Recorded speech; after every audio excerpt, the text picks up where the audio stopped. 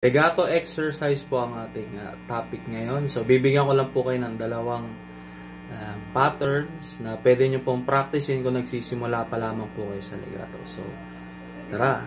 So, po, 9, hammer, hammer on sa 11, hammer on sa 12, hammer on sa 14. So, nandito nga pala po tayo sa uh, E minor scale. So,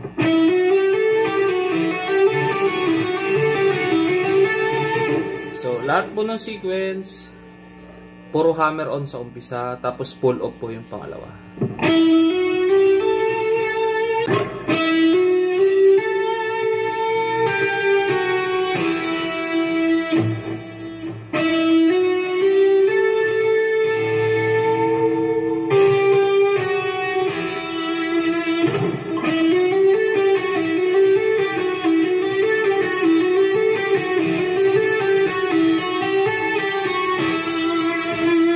Minor scale pa rin.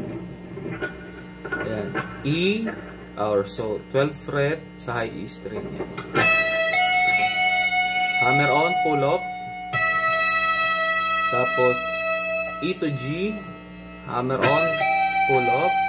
Tapos, E to, e to A, hammer on, pull up. So, bali yung sequence.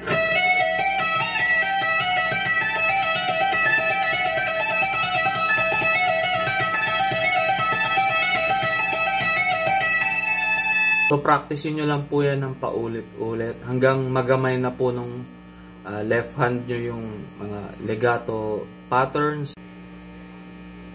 Dalawang basic legato pattern po yung uh, pinakita ko. So, sana po makatulong at pa-follow na lang po. Like and share ng video na to. God bless.